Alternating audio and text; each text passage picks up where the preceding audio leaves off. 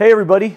Uh, today I'm finally getting back in the shop. You know, our uh, air conditioning went out a couple months ago and shocker of shockers, the uh, supply chain was messed up, parts were a pain, and it's been like 95 degrees here all summer, so haven't been in the shop a lot, and of course the parts come in right when it cools off, so we're finally kind of getting it all cleaned up, starting to do more, more of our woodworking side of things um, as we go into winter. But today I wanted to pay off, I've been promising um, my video on ICF and termites, um, specifically subterranean termites. It's, uh, it's something that comes up in a lot of your comments, whether it's relevant or not, whether we're talking about ICF pools, um, which have zero wood involved, um, or just ICF houses, ICF foundations. People comment on that ICF gets, you know, is very bad about termites. It's, uh, you can't get it treated by uh, reputable pest control company, all these things and it, it seems like that's a prevalent um, thing that gets talked about. So I've been kind of doing my own research because I have never really had an issue with it um, in all the years I've been working with ICF. And I've gone to a lot of the experts and said, you know, because again, a lot of my videos, you guys will be commenting from a coast or, you know, way up north, uh, down in Florida, and things are different regionally. You know, you'll talk about rebar and I leave it out of a lot of my discussions because the strapping, which I, I always bring this up, um, on wood framed, depending on the you know zone you're in, can be a little bit less than rebar or way more than rebar. So I just leave both things out and just kind of uh, you know and recommend that you do that part of your research yourself, given where you live, because I don't know. Um, but anyway, so the termite thing is an interesting. Um, an interesting deal, and we're going to get into it now. What we're going to we're going to get into the thought process that ICF is like more prevalently or more um, more susceptible would be the right term, more susceptible to uh, infestation, and then also uh, mitigation and treatments, um, treatment before or after an infestation, and um, what those issues actually are. And uh, it's actually pretty interesting because I think it's a little bit misconstrued online. It's not, um, it's not nothing, but it's definitely not kind of what you hear in a random comment. So we're going to get into that now, and uh, I'll just kind of uh, go, you know, one, one section at a time here. Okay, so the first part of this topic that I want to address is what are people thinking or saying um, that the ICF is a problem for termites?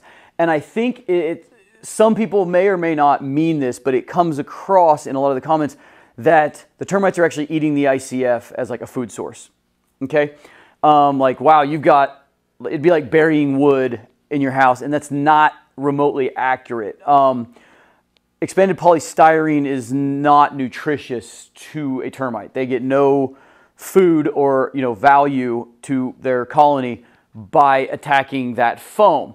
Now it is soft and they can burrow through it. Um, and so the, the actual issue, if you actually read into what people that, you know, in the pest industry or in the uh, ICF industry are saying is a subterranean termite, which is what we're going to be talking about today because they're the ones that really affect, you know, the lower 48. Um, they have termites that can actually fly to your roof or something in like Hawaii and some places up in Canada and stuff, but we don't really have those. I'm going to show you a map right here real quick um, show you subterranean termite disbursement um, across the U.S. And that's kind of a, the high is really down south, moderate's all in the mid, middle part of the country, which uh, moderately high. I'm in the Ozarks, I'm in Missouri, and we are pretty well affected. We have a lot of termite issues, but um, as long as we pre-treat and stuff, we really don't see it in new construction. It's usually really old houses that you know have a lot of foundation issues and other things that cause those infestations. But um, subterranean termites cause about $5 billion a year in damage in the US. And so it's a real problem. But in ICF specifically, what they're worried about is because a subterranean termite lives underground, it can't just go crawling up the side of your house to get into the wood. Like it can't go up the foundation in the sunlight or in the air and get into your foundation. It builds these little mud tubes, which I'll show you um, a graphic of right here. And those mud tubes keeps them kind of underground, so to speak. They, they build themselves a little cave, you know, to keep them, you know, protected. And you can see them from a mile away. You can spot a termite tube from the road as you drive by a house. Um, the, the way they even get into a house and really get to infest is a lot of times vacant house, rental house that people aren't taking care of or caring about, um, with landscaping that's run amok. You know, bushes right up against the house and you can't see that because it's behind. And that's what the termite guys do. They start poking around your bushes. Hey, you got termites. So the theory is, and the worry from your big termite companies that you know tout their warranties and stuff, is that a termite can burrow in underground if there's no barrier for them to do that. Whether it be, we'll get into that, but you know whatever barrier you might have that would keep them from doing that. Let's say you don't have any, and they burrow into the ICF. And uh, here I'll grab some. Uh, I'll grab a piece of uh, ICF real quick. So just picture that this is underground and the termite can go into the ICF, hits the concrete, assuming you've poured the concrete well, you vibrated it, you don't have any voids or cold joints, you, um, they can't really get through the concrete. You know, if, if there's a crack or whatever, they'll find it, but assume we don't. But they can tunnel up in the ICF up to the wood in the roof structure and you won't see it, okay? That is the thing that they worry about. That is the thing that comes up when you actually read about it is they're saying it's not more likely. It's not like they're going to uh, be attracted in any way to ICF. It's that if you get an infestation, you may not know about it nearly as early because there's not going to be any outward signs of it. okay? Now, my logic says that most houses will have a foundation and the wood starts within a foot or two of the ground. So they don't have a very long road to hoe to get into their food. And in an ICF house, typically it goes up to the roof line 10, 15, 20 feet off the ground. So the theory seems a little bit um, less likely when, okay, you got a house next door, the wood's a foot off the ground. Here, they have to burrow through, you know, unnutritious foam for 20 feet or more to get into this roof structure that will actually you know, sustain them. And typically, they're still going to have to go through a treated barrier at the top of that wall. Um, so what I did, I started asking guys in the industry, reps. I would be at a build show working with a guy, and I'm like, you know, I get this comment a lot. What do you think? I wanted to know what his opinion was. And he's like, well, he's like, we don't really have a perfect answer for that because we know it's there, but we don't really see it. And this guy is at one of the big companies. I'm not going to mention names today, but I mean, he works at one of the, you know, top two, three companies. And he's just like, never see it. And he did mention that he thought Nudura or one of the other companies was touting that they treat their blocks like it's entrained in the block, but it dissipates. I did my, I tried to do some research into Nudura because I thought that might be true too because I, I used to use a lot of Nudura. I can't find anything on their website. I think if they did it, they probably don't anymore because if it dissipates, it probably just gives you a false sense of security that you don't need to do anything else. Um, but his, his main point was, I've never really seen it. And I was like, okay, that, that says something because, I mean, the guy invented some of the stuff. He's been around forever. Um, and if he never really sees it and they don't really, they don't view it as a big issue, that says something.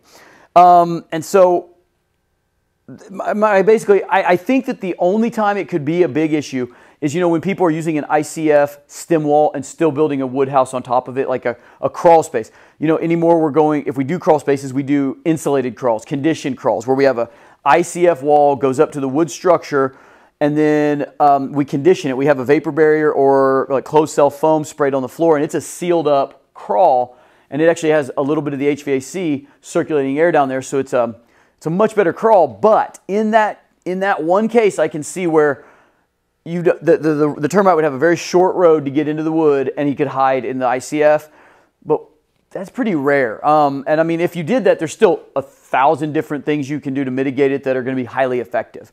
So again, that's kind of where the mythology of, I don't want to call it a myth because I think it can happen. In fact, I'll show you a graphic right here. It's literally the only graphic I can find on the internet that shows like a like legit termite colony living on an ICF block. And what I see in this picture, from just guessing, um, educated guess, they seem to be coming through a seam in the block, which leads me to believe there may be a cold joint or some void in the concrete where they're getting through in mass because it seems like they're emanating from one spot. So that's kind of a bad execution, which again, with ICF, you can't really see that. Um, you just need to use guys that know what they're doing when you're pouring um, because the ICF hides, you know, flaws in the concrete as well. Um, but that, that's like literally the, if, if this was a huge, huge problem, like some people would lead you to believe, you would have a million forums, pictures, you know, freaking out. And the bigger thing is, if I talk to my insurance company, they don't really address this at all. Like the ICF and termites, what are you talking about? We, we, and these guys are actuaries. These guys know, basically, they can do the math and tell you what day you're going to die. They know everything. They know more than a termite company. Termite, and I'll get into what I'm kind of my theory on the termite companies and their basically CYA, the um, the, the warranty in a minute. But you know, I did. I talked to I talked to my agent at State Farm, and they were like, "We do not address it as an issue." That's that's pretty telling because insurance companies don't like losing money. Um, so really, what I think it boils down to is it all kind of started probably with some lumber lobby or something. There's because there are municipalities that don't let you especially like in the West Coast, that don't let you bury ICF. You, you have to start ICF above grade because of this you know, theory that they are going to be very likely to burrow into your ICF and run all over the place hidden. Um, so, that, and that is true. There are municipalities where you have to pour a regular foundation, or if you are on slab, you just have to get this stuff up out of the ground before you can start using it, which kind of sucks in my opinion.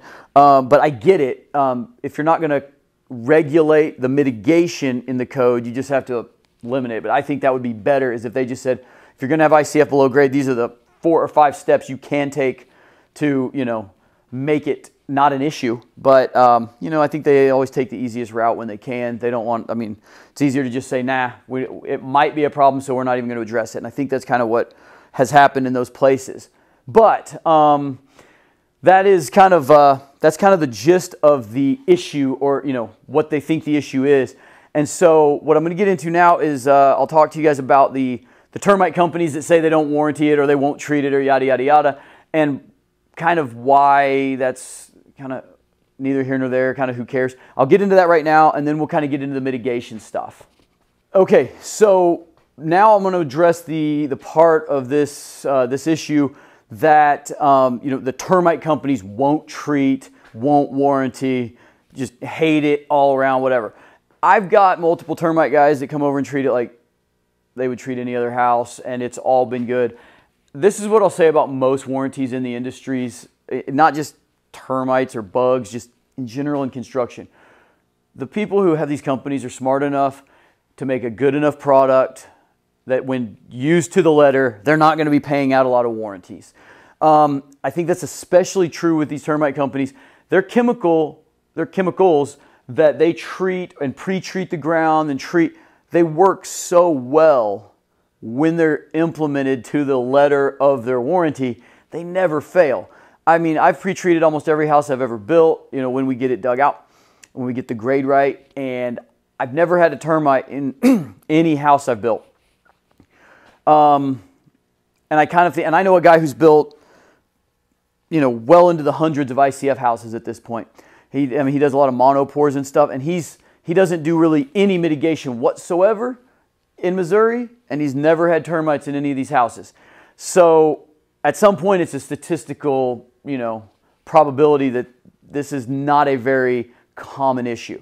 That said, I think what the bigger companies are doing is just they're just kind of avoiding risk. Most of them will treat it. You just honestly, I get it that if I get a problem, you know, my, my warranty won't be any good. But that same warranty is no good if you have a bush growing against the house, uh, giving them a path, you know, over the concrete that doesn't show, if you will.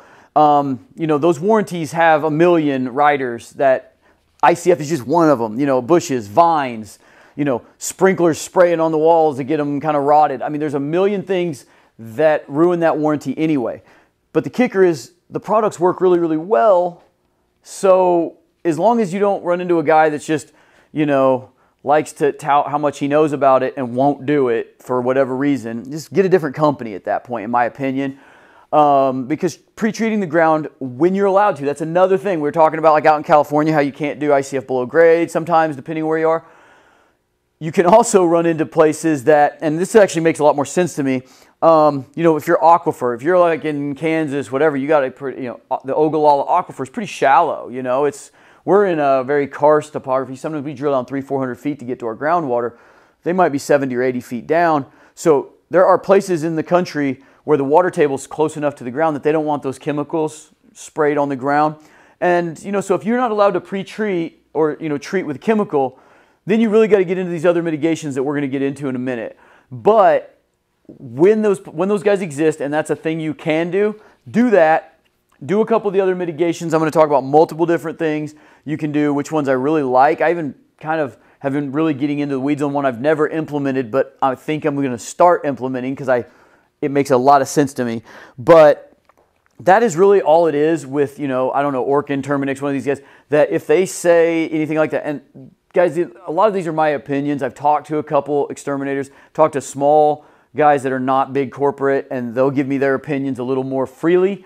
Um, but that's sort of the gist. And overall, they work really well. So I, I don't care about the warranty. I know they're they're going to find a way out of a warranty no matter what if a termite gets in the house after they've treated it. So I'd still like to build with the most structurally awesome and efficient product out there and just do what I need to do to mitigate it for me. But that's actually all it is um, when it comes to the warranties and whatnot. Who cares, in my opinion. Um, but anyway, I'm going to get into a lot of the really cool different kinds of mitigation that people do that work, um, you know, physical, you know, chemical barriers, all that. But we'll get into that right now and kind of just uh, kind of conclude what we, uh, what I've found out, just really diving into the weeds on this to try to answer everybody's, uh, everybody's issues. Okay, so now um, I want to talk a little bit about the different mitigation forms that I, from my research, just looking into this one and talking to, like I said, a couple different guys in the industry just what they what they thought, you know, their opinions, just kind of loosely, just having a conversation. Um, the, there was about four or five things that I thought you could implement any two or three of and be very well covered. Um, the first one, I'll just readdress it, is because uh, I never know how the editing is going to come out. And so sometimes when I repeat myself, I'm trying to do that more because if I miss something because I cut it out, then they're mad at me. Um, treat. Uh, find a find an exterminator. Uh, find a find a guy that if you're in a place that allows it, pre-treat when you got the foundation, you know, open because the, the, the chemicals work really, really well. And that's just a really good barrier um, to keep them out.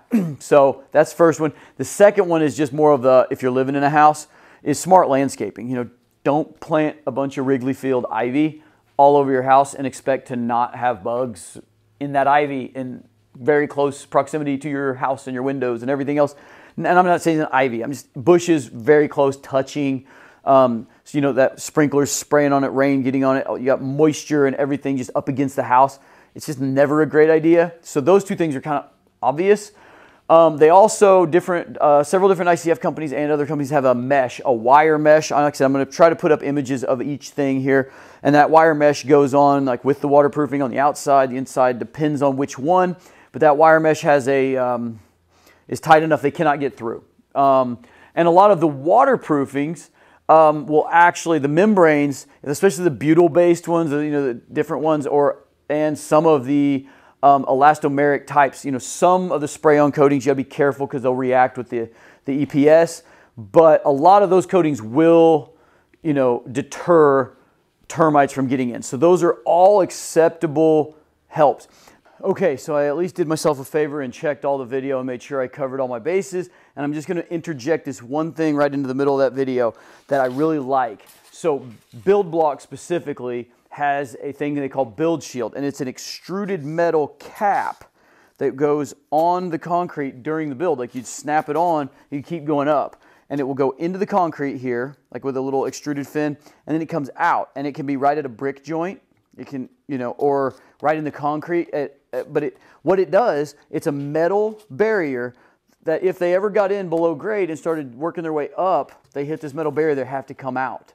So I like that. That one looks a little more pricey than the ones I'll get into in a sec, but um, very effective, I would assume.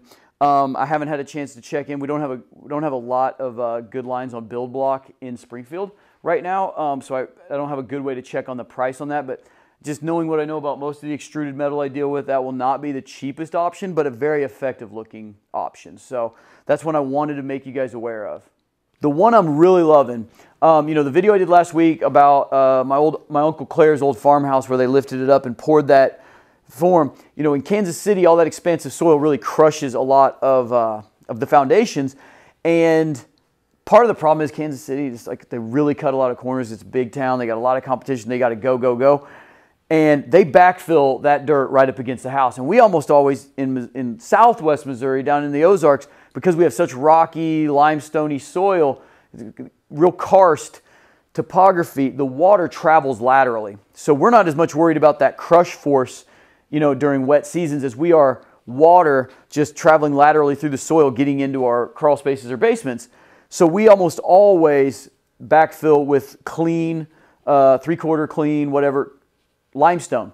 So that water's traveling laterally, it hits the, the rock bed up against the house, and the water drops down into your French drain without ever really having any hydrostatic pressure against the wall.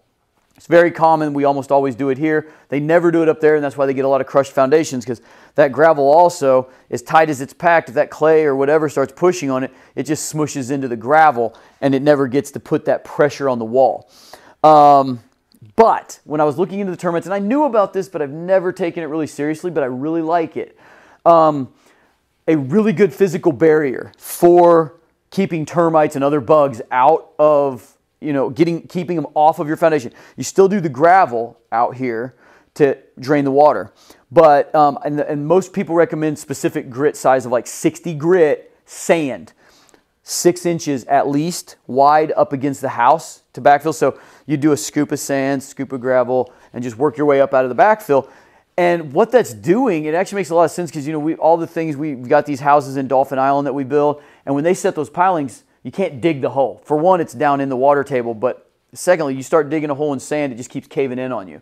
So they actually have to take a water jet and just blast a hole in the ground and set the piling in there and then turn it off and the sand falls back in on it. It's set. The same is true if you're trying to dig horizontally as a termite through that sand. It just keeps falling in on their head. You can't penetrate six inches of sand as a little termite. You just cannot do it physically and it'll never, it'll just keep falling in forever and they just cannot get through it. That is a very simple solution. And I mean, I would do that to any house you're worried about because a subterranean termite can't just hop out on the ground and run to your house. He has to get there underground. So you give yourself a barrier like that. I mean, sort of like people that use, uh, you know, diatomaceous earth to, you know, around their gardens to mess up, you know, ground insects. It's sort of a beefier version of that.